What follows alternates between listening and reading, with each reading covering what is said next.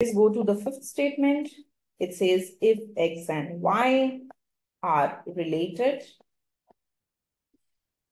to each other by the equation y is equal to 2 plus 0 0.5x correlation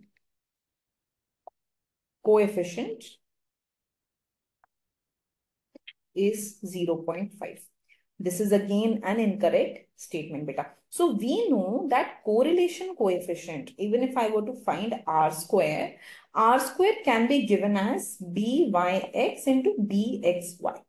r square is given as byx into bxy. So when I talk about r, r will be under root of byx into bxy. in this I am only given byx. I am only given byx. I am given how y is regressed on x. But what about how x is regressed on y and what is the slope of that? I am not given that. So I can just go ahead and say that this will be a false statement because this is just giving me byx. I need to know bxy to find out the value of r square or r, right? So this is also a false statement. Okay, beta. Thank you.